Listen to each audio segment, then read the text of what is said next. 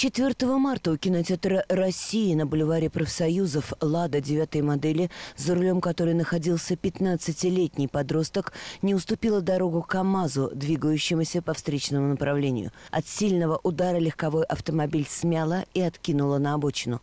По некоторым данным, у 15-летнего водителя ВАЗа, устроившего ДТП, выявлены признаки опьянения. Сверстник водителя, находившийся на переднем пассажирском сидении, доставлен в реанимацию – ребенок впал в кому. По факту этой серьезной аварии проводится проверка как в ГИБДД и полиции, так и в прокуратуре.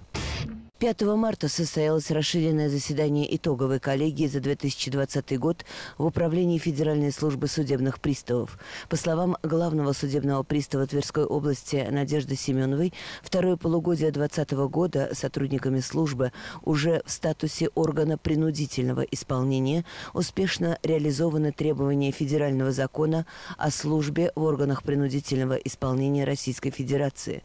С 1 июня 2020 года на должности сотрудников сотрудников органа принудительного исполнения назначено 562 государственных служащих.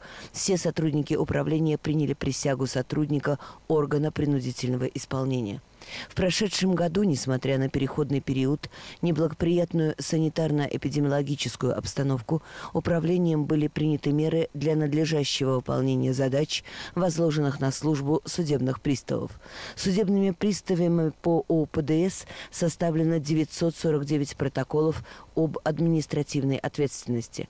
В федеральный бюджет перечислено исполнительского сбора свыше 286 миллионов рублей. Это на 5 миллионов рублей больше, чем в 2019 году. На исполнении у судебных приставов-исполнителей находилось 944 тысячи производств. Фактическим исполнением окончено порядка 375 тысяч производств. Исполнение такого объема исполнительных документов было бы невозможно без взаимодействия с другими органами и организациями. Несмотря на увеличение объема электронного документооборота, необходимыми для принудительного исполнения продолжают оставаться классические методы исполнения.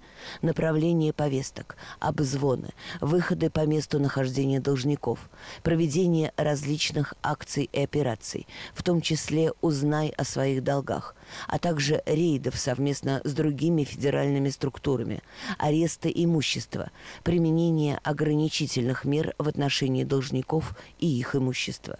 Управление осуществляет дознание по семи составам преступлений, посягающих на общественные отношения в сфере осуществления правосудия, защиты семьи и несовершеннолетних, а также экономической деятельности.